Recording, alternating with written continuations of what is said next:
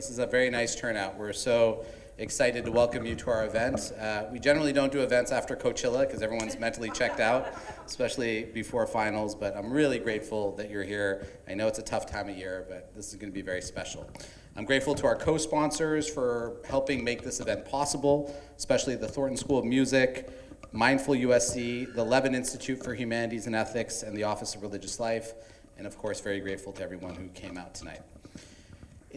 Today we're going to talk about two of my favorite things, mindfulness and music, and in so many ways I feel like both music and mindfulness saved my life and gave me new life. Music gave me a new way to see and hear the world, to participate in the stories and perspectives of others, and to experience awe, beauty, trance, and transcendence.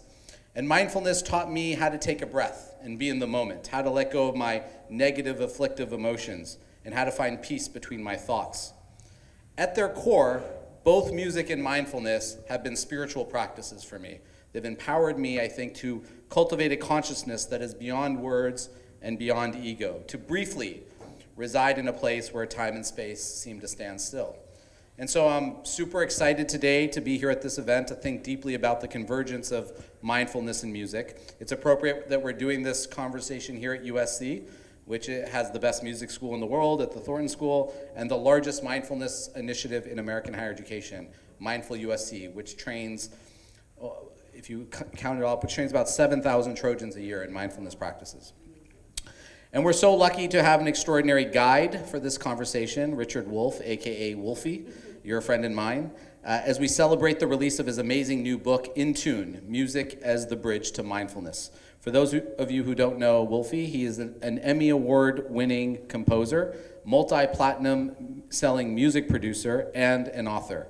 He's worked on projects with Prince, Bell Biv DeVoe. Does anyone know who Bell Biv? Yeah. Okay, good. Not that old uh, Freddie Mercury, my favorite, MC Lyte, and Coolio. And he has been contributing to the soundtracks for hundreds of films and television episodes uh, worldwide, including 12 seasons of the hit NCIS. He is the CEO of the Producers Lab, a music publishing and production company which provides music for multiple networks and uh, platforms and studios, including Netflix, CBS, Discovery, and NBC. He is also professor at the Thornton School across the street right here at USC. His class on the harmonies between music and mindfulness was the first at any university on a university level to explore how the two practices can interact and strengthen each other. And his book, which we're celebrating today, In Tune Music as the Bridge to Mindfulness, contains techniques, keys, steps, commentaries that blend music and meditation together to help the reader begin or deepen a fruitful and impactful mindfulness practice. The format of the event will be as follows. We're going to have a conversation. I'm going to ask him a few questions up here. Then I'm going to moderate a larger conversation with your questions. And then we're going to um, have a little bit of a reception. The book is for sale. I encourage you to pick up a copy for yourself and your 12 best friends. It's really a great read. And Wolfie said he would stick around and personalize the books for you. So that's a great offer. Uh, please join me in giving a warm Trojan welcome to our friend Richard Wolf. Thank you. All right. I, loved what you said about the convergence of music and mindfulness. That's fantastic. Well, it's been my life and it's been your life, and I think those journeys bring us here in conversation today. This conversation with you and I started several years ago, actually. Yeah, in yeah. many ways, this is the culmination of many conversations and many different journeys we've taken. Yeah. So let's just start at the beginning. You're, you have this extraordinary career in music. Uh, tell us a little bit about your life in music and, and mindfulness. How did these two things come together for you? Um, well, I, I, I, like you, I had to use mindfulness to save my life. Um, but that's a long story. I mean, I started with meditation when I was in high school. Um, I was a senior in high school, and uh, around the corner from where I lived was a Zendo. And I was very enticed by the idea of reaching enlightenment, of course. You know, you, you're 17 years old, you want to reach enlightenment. So I went to the Zendo, and, and it was run by a, a very strict man from Japan, and, and it was dressed in black. And you know, I'd go there, and he would teach us how to how to meditate. The thing was that in those days you couldn't uh, sit in a chair, so you had to sit in one of two positions, both of which involved torturous contortions on the floor. For me, anyway, because I'm not very flexible. So anyway, I sat there for a, a whole year, and all I could think about was how painful this is. And, uh, but I and continued in college. And the first year in college, I was meditating too, again with all the pain, and then I gave up on it. And um, another time in my life, I wanted to take up meditation. I took it up with a crisis because it was a crisis in my life, about 1980. And I meditated for six months, but I couldn't keep it up. I was thinking, maybe you can meditate. Maybe you can sit and be undistracted by a crazy mind and crazy thoughts. But my mind is always racing. I can't do this. I'm not made up for this. So, you know, that was that was it. And as you said, I, I you know, went into seriously music and, and working in music. But then uh, something happened, which which changed my life. And um, I, can we do a little thought experiment here? Sure, yeah. Okay, so imagine somebody on top of a very high ladder. As a matter of fact, imagine me on top of a very high ladder. Could be a little disconcerting, but. We can get you a ladder if you want a visual. So I'm on top of this ladder and I'm trying to change a light bulb. It's very high. And all of a sudden, my heart is trying to change its position in my body. And it starts to knock on the inside of my chest. And my wife is standing down and she's going, What's the matter with you? What's going on? I mean, you look like, you know, uh, you're pale and something's going on with you. So I came off the ladder, I lie down on the bed, and my heart just continues to do its Muhammad Ali imitation, boxing its way out of my chest. It says, Let me out of here. I want to see the world. So my wife takes me uh, to the ER, and uh, I'm sitting in the, in, the, in the ER, I'm going, I'm going to die here for sure, because my heart is just going nuts, and I'm, I'm going to die here. I'm finished. So uh, eventually they take me in, they do tests, 45 minutes go by, and then they say, You're fine, go home. I say, What do you mean I'm fine? What was that? They said, We don't know what that was, but you're fine, you're very healthy. So, okay, I'm very healthy. I go home, and then I figure, you know what? I've been under a lot of pressure and anxiety. You talked about Prince and Freddie Mercury working in the, in the record business. I had decided I want to go into TV because that'll be less stressful. So I figured that'll be less, it turns out it's much more stressful. So I realized that I better do something about this anxiety because I don't know about you, but I don't want to ever have another panic attack. That's not something that I look forward to. So I decided I got to do something. So I went to, I hate to say this, UCLA, because they're experts in panic. And I, I had the head panic person there, and he said, I'm going to prescribe you 10 minutes of meditation in the morning and 10 minutes of meditation at night. Okay, I'm listening, I'm listening to this guy say my whole life I've been trying to meditate. I haven't been able to do it. Now what's going to happen is I better do it because I don't want another panic attack. So I, I start reading again. I had been reading all the time, but then I went back to it and I read this book by an animal trainer, a Tibetan meditation master. And he said, you can train your wild mind like you train a wild animal. Now, I had heard similar things before, but then it made a special impression in me because I'm thinking, you know, I was born with zero talent as a piano player, no talent at all. But I practiced, and I, I practiced, and I saw that if I practiced, I could play well enough to play on records. You know, we didn't have MIDI in those days, MIDI, uh, uh, you know, all that stuff. So I had to play on records, I practiced. So through practice, I saw that I couldn't make advancement. And I'm thinking, if practice worked in this discipline of music, why wouldn't it work also in this other discipline of meditation? And sure enough, because of that connection, it worked. And then when I saw how there was this, this special relationship between practice here in music and practice over there in meditation, all these other correspondences, these bridges came to light. There was, I identify 12. All right, in the book I talk about the 12 bridges. There's probably more, there could be 17, I don't know, I like the number 12. Um, and, that's, and that's when it started. And from then on, I just got deeper and deeper and deeper, and that's why I say it saved my life. Did you have panic attacks after that? No, no panic attack, no. But, you know, I, if I feel, by the way, you have anything for performance anxiety? Because right now I'm. Um, Take a deep breath. Oh, thank you very much. yeah, you, you, you recommended that to take a breath. Yeah, okay. Um, where was I? I just asked you if you, you, you, you panicked again. You didn't. And Oh, no, that's why they call it practice, right? Okay, A meditation because- practice. Yeah, yeah. It is about the practice. But the thing is, you see, you know when panic is coming. It's not that it's not going to come. Panic is coming, except now you know it's coming. It doesn't take you. It doesn't ambush you. So you see, okay, here comes panic. Okay, now what am I going to do? Hello, panic. How you doing? You know what? I'm going to take a deep breath. I'm going to hold my breath, and you and I are friends. You know, we're friends. I'm okay with you. You want to stick around? Fine with me because I'm not bothered by you. And that's and that's what we do with panic, by the way. You, uh, you coined a term called the four musical horsemen of the apocalypse. And you say this is something that all professional musicians have to uh, sort of uh, in, struggle with or transcend. What are those four musical horsemen, and how can meditation or mindfulness be a potential remedy?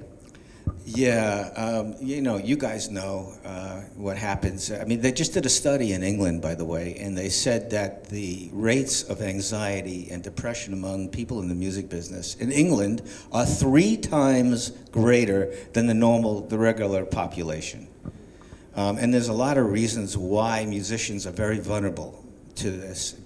I, I could just give you one simple thing. Is that Rick Rubin said this. He said that musician, you know Rick Rubin, the producer, yeah, an amazing, producer, a fantastic producer. He said, uh, they asked him about why he meditates. And he said, you know, musicians are very sensitive people. And we're different than most people, and we feel that we don't fit in. So we feel pain, a lot of pain, just like everybody else does, but we're especially sensitive. And he said, you know, we live in a kill the pain society. You have pain, you drink alcohol, or you take opiates or whatever to kill the pain. He said, through meditation, I tune into the pain. And that's how I deal with it. What are anxiety? Okay, the four horsemen, Yeah. yeah. The four horsemen in the musical apocalypse. So it's anxiety, depression, addiction, and suicide. And it's tragic because with suicide, we're, losing, you know, the most successful. I mean, what killed me in, in the last year was Avicii. It's a 20 something year old guy, Avicii. I mean, the guy's making $20 million a year. He's going, uh, you know, all he has to do is show his face, and 10,000 people go nuts. And he takes, you know, he slits his wrists. You know, this is only, I, I don't know about any other field as bad as that, you know, and, and you know, there's example after Prince. Okay, why does Prince have to take opiates? What do you think? You know, uh, no, it's one after the other. So we have serious mental health, and what mindfulness does and meditation does, of course, it changes your whole outlook on life. It's very transformative, and you get to deal with the pain in a different way. And you know, it's a, it's it's like a, a Swiss Army knife of all these tools that you can use to deal with suffering. What, a place where mindfulness and music converge is in getting past ego, getting past words, in losing yourself in some way or another. You can lose yourself in music, you can lose yourself in meditation. Talk about what that means, losing yourself within the context of music and meditation. And is, is that the same state? Are you doing the same thing with two different avenues, or are they different experiences, whether you go through music or mindfulness? I, I love that. I love that whole question and that whole idea, because music in music, you all know this. If you listen to music, or if you make music, it's not about yourself anymore. First of all, it's a direct experience with sound. Usually, you know, when you're communicating with people, it's through the intermediary of your the narrating voice in your mind is telling you what's going on. This is what's happening, whatever. Never shuts up. It's it's interpreting reality for you, or you're talking with somebody else. It's it's judging what they're saying and how you're going to respond and all that. In music, you don't have that intermediary. It's a it's a direct experience, and you also transcend the self. It's like uh, Eminem said, "Lose yourself in the music." You just get immersed. It's not about you anymore when you're making music. It's about the music. Bruce Springsteen said, "When I perform music, I rise up and vanish into the music." He called it self-erasure and self-realization at the same time, which is what self-realization is. It's telling you that you're, you don't have a self. You have to find your true self. And Springsteen says it erases his self.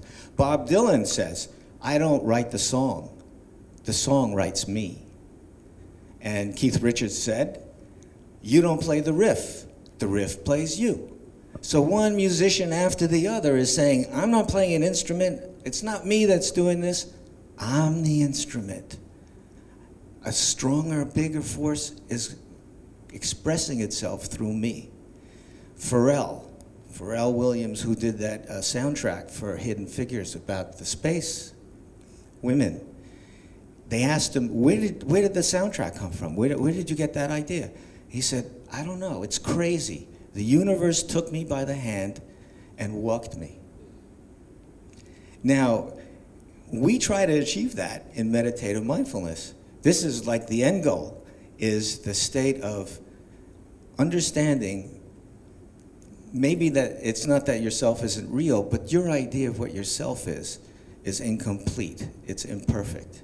You are actually the universe expressing itself in this time and place. And when you realize that, that transforms your whole outlook on the world and on your own suffering. You're not just confined in this bag of skin and everything outside is the other. That's one truth, but the opposite of one truth is another truth. And the other truth is that everything else in the universe is yourself. And so the, the problem with, with music is when the music stops, right, and you walk, it's a high, and, and you walk off the stage, it's a high because you, you're free from yourself. You walk off the stage, and now you got to live with yourself again. So through meditation and mindfulness, these musicians that have made it their practice, they learn, okay, this is how I'm going to live with myself. I can be comfortable with myself this way because I realize that myself is everything.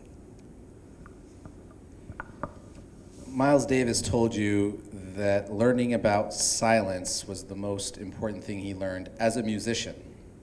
We know about silence in mindfulness, it's a necessary component to a practice. But what's the importance of silence in music? Okay, um, yeah, Miles surprised me. I had lunch with Miles in 1985. I was friends with his producer. He said, "You want to have?" I was in New York. He said, "You want to have lunch with Miles?" I'm going, "Are you crazy? Lunch with Miles Davis?" So it's just the three of us. We're the only ones in the restaurant. He's in the back of the restaurant in this huge fur coat. It's the middle of the summer. And uh, anyway, he tells story after story, and I can't repeat any of the stories here because We're on film. yeah, we're on film in a university, and I can't repeat it. But he stops telling these stories all of a sudden, and he turns to me and he says, "You know what the most vital lesson I ever learned about music is?" I said, "No, Miles. Well, what's that?" He said, "The importance of silence." Now, when he said that, I, it communicated, it connected to me, but I didn't understand what he was saying. I mean, I knew he had an album called In a Silent Way, which had a song on it, In a Silent Way. He has a song on that album, Shh. What's Miles? What's Miles talking about? Well, eventually, I understood what he was talking about. Um, this is how important musicians don't think about this, but ba- baked into musical notation is the fact that sound and silence are given equal treatment.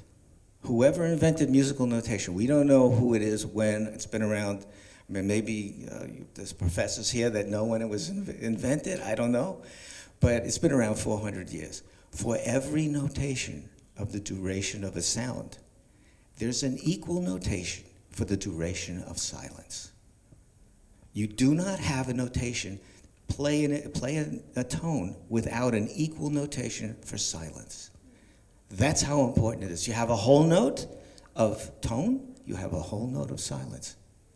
Quarter note, eighth note, sixteenth note, thirty-second note, sixty-fourth note, hemi semi demiquaver, right? Sixty-fourth note, hundred and twenty-eighth note. You know what it looks like? Silence. It's a slanted like this with a bunch of circles. 128th note of silence. That's how important it is. So they're telling us mathematically, metaphysically, if you're going to have sound, silence has to get equal billing. Now, all the composers thought of that. And by the way, this is a global phenomenon, not just in the Western music. Because if you look at the Fijian music, and Africa is part of that, they see silence as this vast ocean, right, of space, and they pluck the music out of the silence. With their instruments, uh, you know, drums and the lyres and the lutes, they're plucking, they're inviting sound to come out of the silence. In the West, they saw the same thing. They saw the same vast ocean space of silence. But what do they want to do? What is the Western mind? Let's fill it up with sound. Let's fill it. So what do they do? They invent the organ. Right, that's a big instrument. Then they have the clavinet, but the clavinet doesn't fill up enough silence. So they get the piano, and that, that fills up the silence. So this is the problem. The problem is we got a lot of sound. We just need to balance it with silence. And there are musicians, and, and this goes back further, but the, there are famous musicians like John Cage, and Miles Davis and Pauline Oliveros, and now you have a whole movement called Wand, uh, Wandelweiser.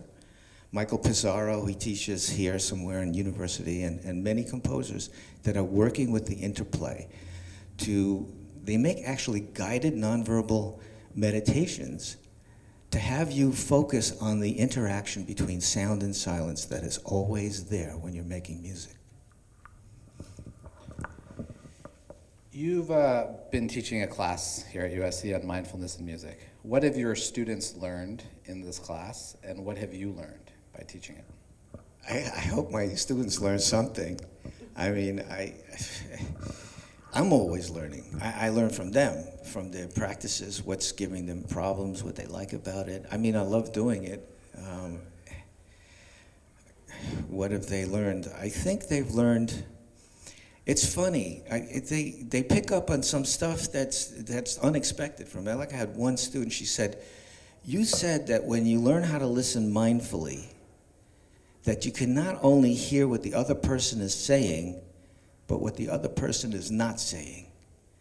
And then she said, well, she had this fight with her boyfriend, and her boyfriend, and she said, you're not saying X, Y, Z. You know, um, I'm sure he appreciated uh, her being in your class. yeah, very popular with him. I mean, that comes from Miles Davis uh, telling his band, uh, listen to the notes that aren't being played. You know, he told, uh, he told Herbie Hancock. By the way, Herbie Hancock says, he's a professor. You know where Herbie Hancock is? It's all right, a brilliant guy. On silence, he says, not only is silence as important as the surrounding notes, but it's a critical life skill. He told Herbie not to play the bottom notes. Herbie thought he said, don't play the butter notes. So he's trying to figure out what are the butter notes. So he just leaves out as many notes as he can. But that again, that's to hear what people aren't saying. What else do the students learn? I mean, they learn, you know, they learn certain things. Like one student uh, told me, uh, uh, you know, they were, I mean, caught in traffic and they were about to, you know, get into an altercation, and then they thought about mindfulness and to say, okay, I'm frustrated. This is what I taught them. You know, you, you, you, I'm frustrated. That's part of the human condition. Okay, I'm frustrated. All right, that's part of the, you know, curricula vitae of being a human being. You get frustrated. That's all. You just say, I'm okay. I'm frustrated. So stuff like that. But they learn, uh, hopefully, how to practice, how to set aside time to practice and the different techniques of practice, and they, and they find certain techniques that they like. You teach them meditation techniques? Yeah, yeah, the, a repertoire. I believe in having a repertoire of different techniques. So maybe before we open it up for a larger conversation, uh, you could guide us in a maybe one minute, two minute meditation. Would that work? I don't. I don't do two you minute meditations. Okay. No, I. I can't do it that fast. I don't right. speed meditate. I, I, let's go to questions and then we'll revisit this at the end and we'll see how much time we have to actually lead into meditation. So, uh, so let's open it up for questions for all of you. I might repeat your questions just for the sake of the camera. By the way, I don't know if this is good timing or not, but you referred to this at the beginning that we've been talking for two years or three years or whatever, a bunch of years. So you told me years ago, you said, if you ever finish your book and if you ever get it published, then we're going to do a book talk. And so that was in my mind the whole time. That Varun told me if I can finish this book, and I can find the publisher, and the publisher is going to print it and put it out. Varun is going to do a book. Tour. That's this. He's such an amazing guy. This is you're such an amazing guy. The support that you've given me personally with the music and mindfulness and the whole mindfulness campaign, just unbelievable. Thank you. I appreciate that. Just like we rehearsed. All right. So who's got a question for us, or a comment, or an observation, experience they'd like to share? I can keep asking questions all night. Yes. Um, so you say that mindfulness has changed your life, and you mentioned that it stopped panic attacks. In what other ways has it changed your life, or have you seen it change other people's lives? Oh, I think it's made me much calmer, um, more compassionate. Um, I mean, I just have been going through, uh, you know, with my family, very difficult situations, and, and if it wasn't for mindfulness, I wouldn't be here. If I didn't know how to cope with uh, tremendous amounts of, of, of tension and stress and terrible things, I mean, I, there's no way I would be here. Leading with compassion and peace makes such a big difference. I mean, it's 180 degrees. What was the second part of your question? It's just specific ways that it. Oh, yeah, that's, to me, right now, from, from recent memory, that's, the, the, but, but it changes everything, so you can deal with failure better and you can deal with success better. You know, it, you manage your expectations, right? And that's really, really important. And as you know, you can't control everything. The only thing you can control is how you respond to things. And that takes a lot of training when things happen like that, circumstances to be able to have the serenity to say, I can't control this. I can control how I respond and calibrate what you think is you're going to try to be the best response. I'm curious, um, you had this journey um, discovering mindfulness through music. I'm curious, through that journey, has that reflected, uh, has your journey in mindfulness reflected back on the way you make music and how you approach music when you're composing or writing songs? Like, does that change the way you approach things or anything? It probably does, but I can't put my finger on it really. I think the biggest change is in how you live your life as a musician. So as a musician, you have to make all these choices and all these decisions. And for sure, the practice affects all of that. But when you're actually in the throes of the creative process, you just, you know, you just, you're just an instrument and you're just going with the music. So that's always been there. You don't need to practice mindfulness, as you know, to, to be a great musician. It, it helps, but you know, it's not necessary. It's, it's very, very good if you want to live your life as a musician. That's where it really and then it does have, you know, like you know, performance anxiety, like you mentioned. It does have applications too in music. Yes. Um, you talked about how um, meditation has helped you cope with difficult problems and panic attacks. But when you don't have this, those problems, does meditation help you become a better person or a better, uh, higher state of mind, like what you dreamed of when you were 17 years old? Okay, that's that. Can I unpack that? Because to me, that has many levels in there. So, in the the level that the last level is, yes. Meditation is a spectrum.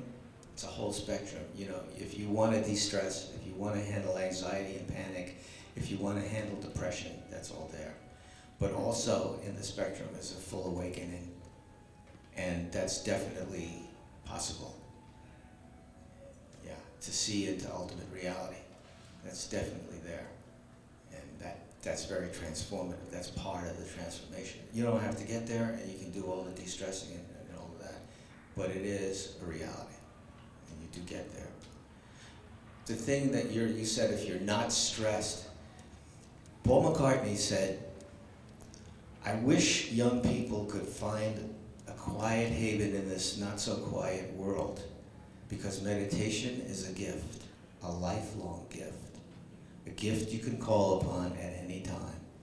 Memorize that because I love that. So what he's saying is that it doesn't matter, you don't have to be stressed or whatever. This is a gift. And every time you sit down to meditate, you're building up this gift that's going to last your whole life in all these different situations. So you don't have to be stressed out to do it. You follow what I'm saying? Um, you have talked about using mindfulness meditation during, uh, you know, sort of the creative process and also self-management. Has it ever been done in the music, the sort of uh, musical situation during a performance where that's been done with the audience and then so that opens up a different sort of dynamic during that time? Great question, yes. A couple of times. Um, Pauline Oliveros is uh, a composer. She died last year or the year before. In the last two years, she passed away. Um, she was a real trailblazer, a, a gay woman in this field. And she had an institute, a Rensselaer Institute called the Deep Listening Institute. And she created these compositions that asked the audience to listen to sounds and then sing what they hear and to use meditation as part of the composition. So, and she's got all these, she has a book and she, and she has all these directions on how to use uh, listening to the soundscape as a composition. And then what I go into, what I go into is uh, a little different, but when you're sitting meditating to hear tones, and so you're kind of composing your inner music at the same time as you're composing yourself. So more like dialogue essentially at that point, not using music, but then using meditation as kind of a, a tool. Right, i- i- yes, but it's in your inner music that you're hearing. You're hearing your inner voice express tones along with your breathing. It's all one thing going on. So you're actually composing yourself and you're composing, you're improvising music. Um, and it starts, actually, it all started with John Cage, four minutes and 33 seconds. You know, where, where, where the audience comes in expecting to hear music and the, the orchestra's on stage and they don't play. I mean, that was genius. And by the way, it's no accident that he was a Zen Buddhist. Yeah. Okay. Yes? Um, what, what do you see like the landscape of like mindfulness, like how, like the future of mindfulness? Uh, I really like the USC mindfulness app here, but do you see yourself, you know, kind of putting mindfulness on the forefront, just generally in the mainstream in terms of like having your own app or anything besides the book? Like, are you gonna, what, what, like in terms of like, how is, do you think mindfulness will be more and more common, like in the future, in the near future? And maybe I can add something, and will music be more and more a part of the introduction of mindfulness into mainstream culture? Well, um, I think music, people associate uh, in, in a lot of ways meditation and music together, right? Um, I don't know. I think it, mindfulness seems to be a growing uh, awareness among culture in general, and uh, hopefully it continues. I think it will. It seems to because our classes are filling up fast, and you've got 7,500. So the younger generation. I think Varun once asked me about working with musicians that practice mindfulness, and years ago there was there were very few, hardly any. Nowadays, the younger generation coming up, they're more and more doing, you know, aware of this. So I think that's inevitable that will happen. As far as what I'm concerned with is the four horsemen of the musical apocalypse, and bringing mindfulness to the music community to help us uh, ward off the plagues of these four horsemen of the apocalypse. I mean, the reason why I ask is because like, what, like the techniques and everything that I learned in your class has I didn't recognize you because you got the, look Yeah, at this, yeah. he's got a, mustache and this, Yeah. yeah, that, Yeah, well, all I was gonna say was like it's it's probably one of my favorite, and the best things I've learned here at SC. And I'm like gra- I'm like graduating. It's kind of weird that you know like this is like, I just came from my last class. And, you know, it just kind of reminded me of how much I learned from that. So you're class. saying as and a- I'm, I'm saying like where's it gonna go because I think it's extremely important. I think everyone can benefit from it in some some way. It may not be for everyone, but I think it's it doesn't hurt to try. So, congratulations on your last class. That's awesome. We're finals, so yeah, fine. And um, let me just ask you a quick question. So you said it's one of the best things you learned here. What what was the practice, the convergence, the interplay? I think like the, the revelation that um, you are nothing and you are everything in terms of the whole universe. And to be a, little bit more practical, what I'm saying is like, once you realize that you're just like a small dot in this like entire universe, you just that much more happier because all the moments that you have nearby, near you, near strangers, family, you just appreciate every second more because, like you said, this is just a vessel, it's just a body. And so once you realize like all these things that may not, you know, come to your place that are negative, that just happens, like, you, you know, it's, it's whatever, it happens to everybody. But the way you react is like the biggest thing, and I feel like the biggest takeaway, like after that class is my reaction and being like analytical, it's like, I don't have to, like, I might have physically have an emotional reaction, but I don't have to suffer. I don't have to like be angry. I don't have to cut someone off. I don't have to take it out on the loved ones, because I feel like that's very common. You're not your thoughts, you're not your emotions. Yeah, yeah. That's right. Were, were you the traffic cop? No, but actually. You know the traffic guy? It actually did help with driving, so like on more macro stuff and then more micro stuff like being on your phone or just like driving, it helps like in all facets of life. At least for me personally, I can only speak from my own experiences, but it's helped across the board, whether it's big stuff, really heavy stuff, or just really small stuff. So, it's a Very good student. Asked him the question about what the students learned, Yeah. you. Exactly.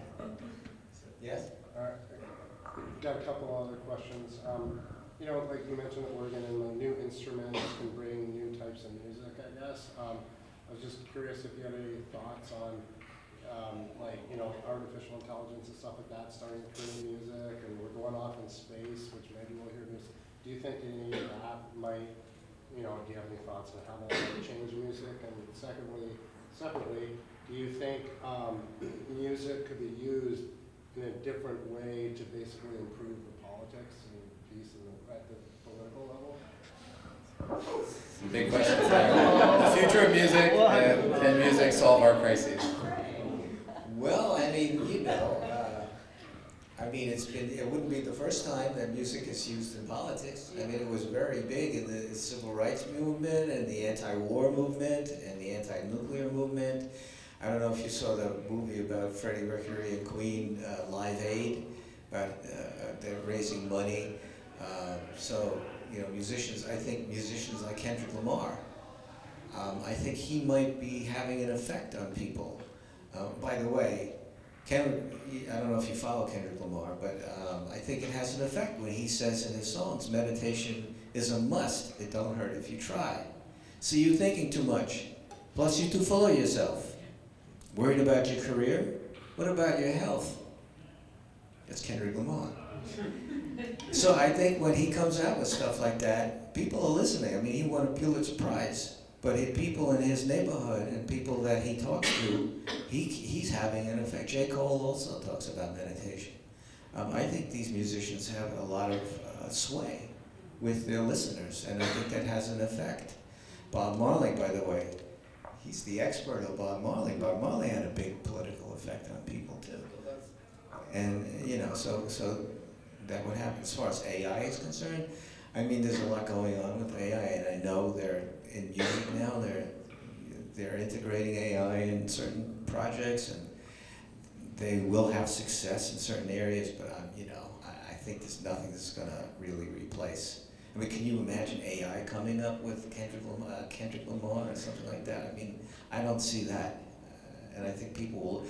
The human ear is always attuning to the human voice. That's when you hear a record. The first, what you're really listening to is the human voice, unless you're a drummer and you're focusing. But the normal person is the, it's the human voice. So if you have a if you have a human voice versus a robot, we're still human, and we're gonna seek out the human voice. I, uh, I have a four-year-old daughter, and I've raised her entirely on Bob Marley. So literally, she was born to Bob Marley, the Rainbow Theatre concert from '77 in London. She was born to that sound, to that concert. And yet, she comes home from her LA preschool singing Cardi B all the time, and she knows like all the lyrics to all the songs. I'm like, how how do you know this, and why do you know this, and why do you love her so much? Because she loves Cardi. And she said to me the other day, she says, Papa, I love her because she's not afraid to be herself. I'm like, wow, that's pretty astute for a four-year-old. It's probably right on, but like, how did you come up with that? So we do our best, I think, you know, and uh, she has her own sort of path ahead of her. And the other day she said to me, you know Justin Bieber is better than Bob Marley. You know that, right? She's like taunting me now, just taunting me. Anyway, that's neither here nor there. Off on a tangent. I'm going to take uh, the last question here because I have the uh, moderator prerogative. Uh, students come up to me all the time and ask me a question, and I'm wondering what you would say to them if they asked you this question. They're often artists or musicians, and they say, I, they say, my creativity comes from sort of my energy and my, even to, from my anxiety. It comes from the way I act and move in the world. And when I meditate, I feel disassociated with those things. And therefore, I think it's going to have a negative impact on my creativity and my art because my art is a reflection of that. What would you say to them? And what is the relationship between mindfulness and creativity in your experience? Well, I think there's two separate questions because there's a whole thing about how mindfulness can help creativity, and I've seen it in people and they've told me about it, and so we can get into that. And then there's the flip side that people always say that a lot of musicians say, "Well, I'm running out of my pain and my suffering, so if I'm not going to suffer anymore, I'm not going to have anything to write about." Okay, show me somebody who doesn't have anything to suffer about.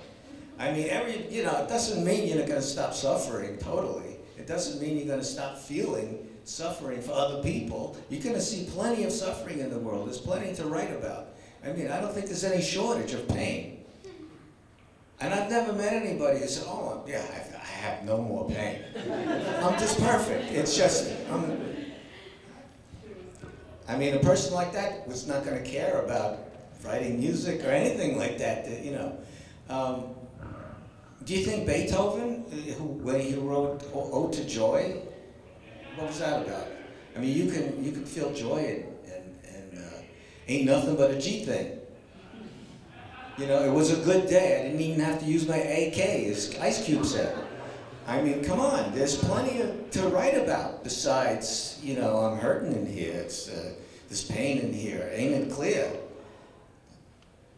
Okay, but to answer your question, so I just want to acknowledge that transition from Beethoven to Ice Cube. It was smooth, totally organic, and absolutely on point. I mean, the whole world loves Ode to Joy. I mean, he was happy when he wrote that, you know. Um, mindful creativity. So there's two things where mindfulness helps in, creativity. So David Lynch wrote this book. I don't know if you, you, you know David Lynch, the director, about his meditation practice. And um, he says that negativity is the enemy of creativity. So I'll give you an example. You all know this if you're writers or creators or musicians. You, you've all been through this. You have like a little critic on your shoulder, and you're writing, and the little critic is telling you, that's no good. Do something else. See, do something else. And you're happy with it, and you're fine with it. And then the critic goes, that's no good, you gotta change, that's no good. And the critic never shuts up. You know, I actually had a, a colleague of mine, and he, he was a very successful composer for television, but this critic never shut up, and he couldn't write anymore. This is a typical problem with having this idea of perfection that artists have. You know, Leonardo, it's Leonardo da Vinci said, I never complete a work of art, I just abandon it. And in mindfulness, you learn how to just let go. You learn, you let go. At some point, you just gotta let go, and you practice letting go because you're letting go of your plans, you're letting go of your regrets about the past, and your anticipation of the future. You learn how to let go. So when you're creating, you have to learn at some point, you have to learn how to let go. And that's very helpful. And it also quiets the negativity. Now, David Lynch says, he says, that because meditation gives you more consciousness, if you have more consciousness, therefore you have more raw material to work with, more energy to create. That's his theory. I don't know if it's true or not. I think it's a very interesting theory. It works for him and apparently other people.